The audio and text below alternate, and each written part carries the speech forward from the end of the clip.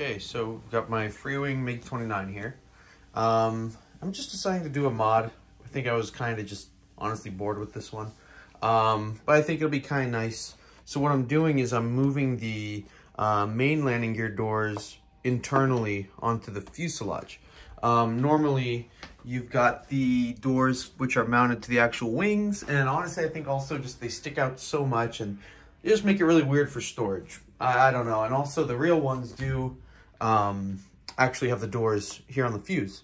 Um, so what I'm planning to do is, you know, I'll have the doors actuating, and now I'll take my lights and I'll have them mounted true to the MiG, and they'll be at the uh, bottom of the door there. But all I'm really doing to do this, I've just basically glued a little piano wire rod across the uh, this edge of the door. Uh, cut the hinges off there, and then um, right now I've got I've just used little pieces of plastic I've cut holes into, and those slot into the foam, and that now gives me a hinging point right there. Okay, so got the servo installed for the uh, door now. So pretty much just epoxied in my own little horn on the inside of the door. Servo's embedded right there. And then the wire um, feeds through the channel of the retract lead as well. So that's all tucked away there. This lead is just for my um, second or third landing light, which I'll probably end up downsizing just because these are going to be a little bit bulky to try and get them to fit down into here. So I might order one from the, uh, the J10 and, you know, I'll try to get that to work. Um, it'll just fit a little better, but you can see, so the servo can bring us all the way down and all the way back up. And the end travel is pretty much, if I can get it here, vertical. So it stays nice and firm and in its place to really just keep it out of the way of the, uh, of the wheel. Okay, so got the doors, both sides installed, functioning, etc. So here they are in action. Put the gear down, doors come up, and there we are. Gear pops right out. Pulling the gear up. You'll see it come in here in just a second. Tucks right away in there. And the doors shut. Just like that. And these end up fitting really nicely with how my hinge point was set up. And, um, you know, they're really, I'm putting some really decent force. I mean, they're pulled down really nice and tight. So these things are going to go absolutely nowhere. So I'm really happy about how uh, that came out. So next thing I gotta do is figure out where these lights are gonna go, how I'm gonna fit them into here. Um, because ideally they're going to sit, you know, on the outside of the door so that when the door's open, they'll be lower. Um, thing is, these are pretty bulky, um, especially for an external, like a uh, main gear door light. So probably end up getting a smaller landing light, something that'll fit the uh, fit inside better, so it'll all be nice and clean.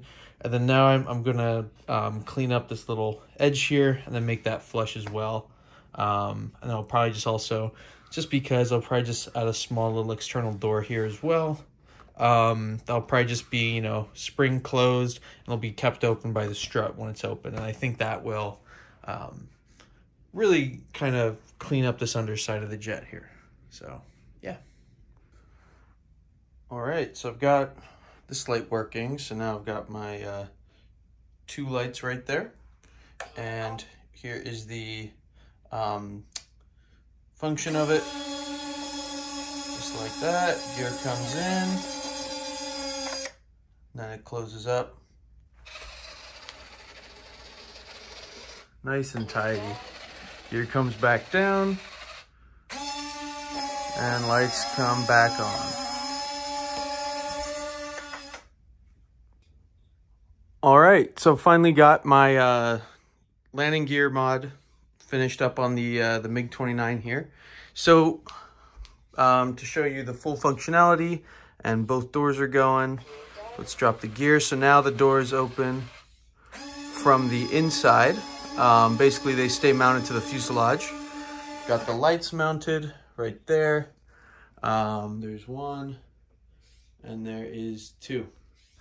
so yeah, I really like it. Um, hopefully it should show up pretty nicely in the day. Um, I had to end up, these were too big, which is what I was originally using. These were just too big to be able to fit onto the door. So I basically had to just remove the lights, really cut down the heat sinks that they're built onto. And then I made my own little uh, lens and enclosure just to kind of help clean it up a little bit.